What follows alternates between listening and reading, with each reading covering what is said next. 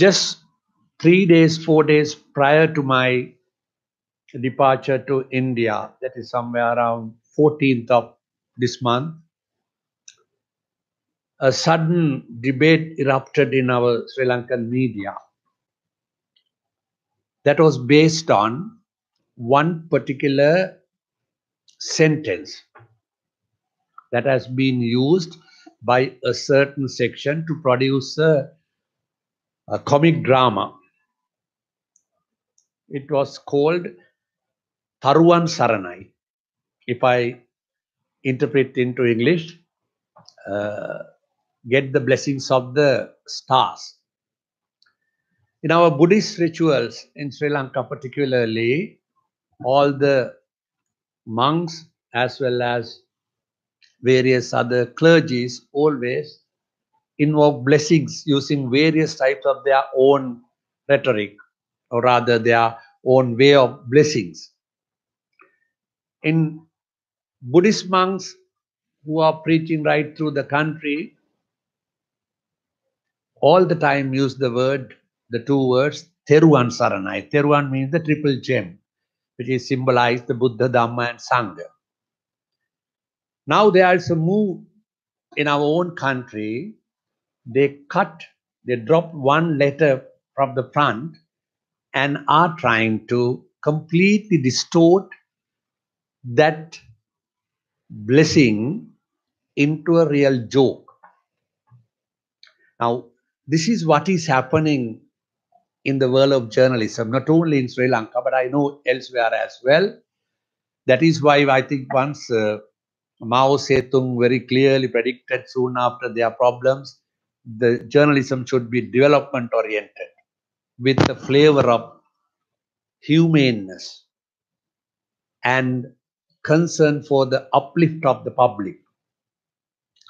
Are we doing the same thing is it today as it today? That's a million dollar question that lies in front of us. So, how can we go beyond this point? The need for a coherent, collective, and non distorted version of Buddhism is much more required than ever before.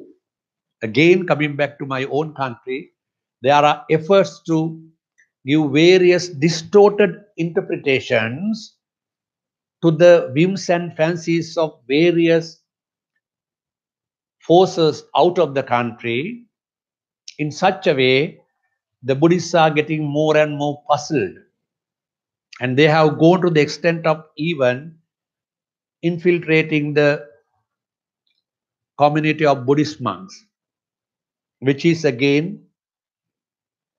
coming under the commercial the so-called commercialization of journalism so that's another aspect that we all get to be very cautious in the coming years. It might be today Sri Lanka, tomorrow elsewhere.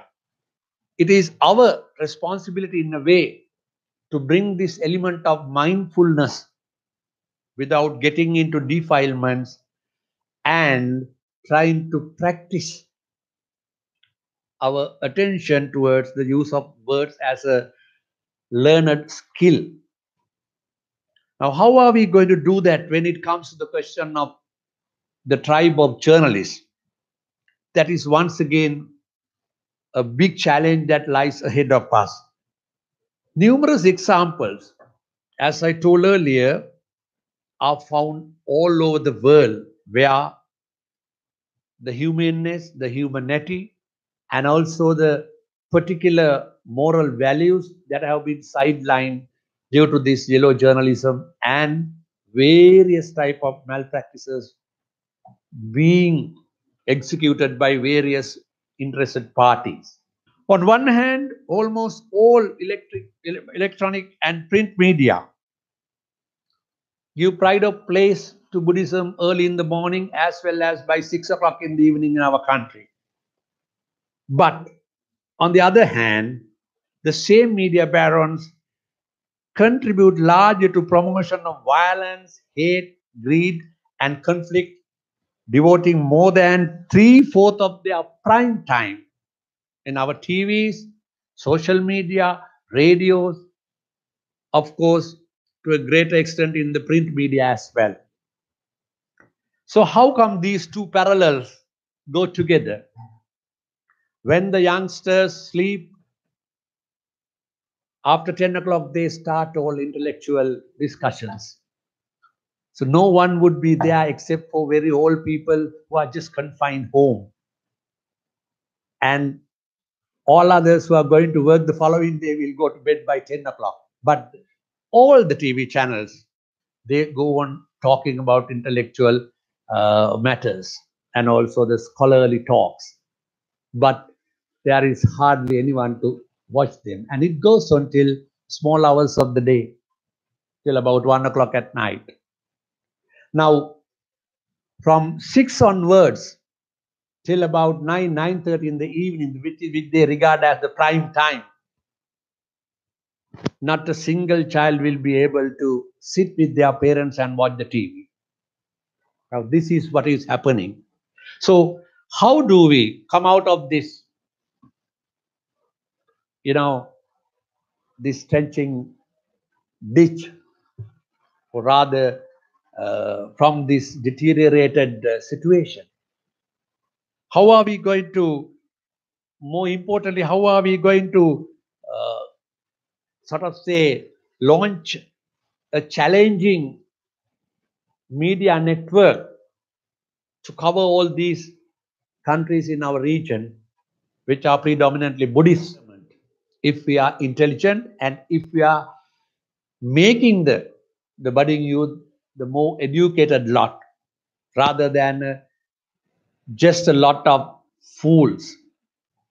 And the life stories of Buddha, for example, as documented in the book of Jataka Tales, the, five, the tales of 500 of previous births, can be very seriously considered to begin with to popularize the ideas of Buddhist values by translating them into various languages and also even to the by going to the extent of producing stories through cartoon and also various teledrama series.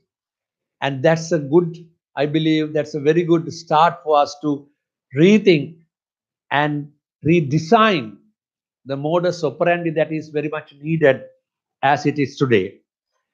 And also the going to the sphere of social media. It has we must not look at it with an adversarial perspective. But it should be tapped to the benefit of the poor buddhist community.